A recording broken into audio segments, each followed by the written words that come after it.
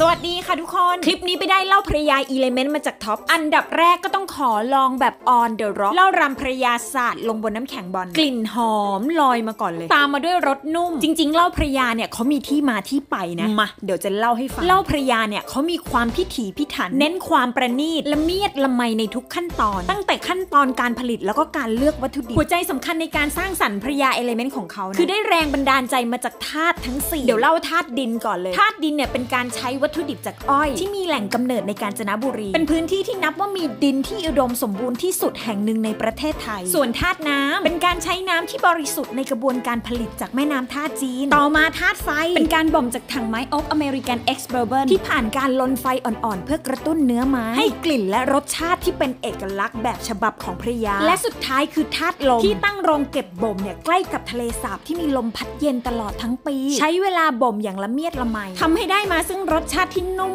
ลึก เป็นเอกลักษณ์ด้วยกลิ่นหอมนำจากวานิลา คาราเมล และบัตเตอร์สกอตแฝงไปด้วยความ spicy ที่นุ่มนวลในตอนสุดท้าย ที่เล่ามานะ ทุกขั้นตอนรังสรรค์จากฝีมือคนไทย เป็นความภาคภูมิใจของไทยที่มีสินค้าคุณภาพเป็นที่ยอมรับในระดับสากลมีรางวัลการันตีด้วยเหรียญทองระดับโลกเป็นไงในเรื่องเหล้ามีเรื่องราวเมื่อกี้หลังจากดื่มแบบ on the rock แล้วเนี่ยก็ลองดื่มแบบใส่น้ำแร่เอเวียมันก็ได้นะ แต่ว่าเรามันสไตล์สาย mix มากกว่านี่ต้องสูตรนี้โคตรเด็ดเลยเหล้ารัมพระยา 150 ml น้ำเสาวรส 180 ml น้ำมะพร้าว Cocomax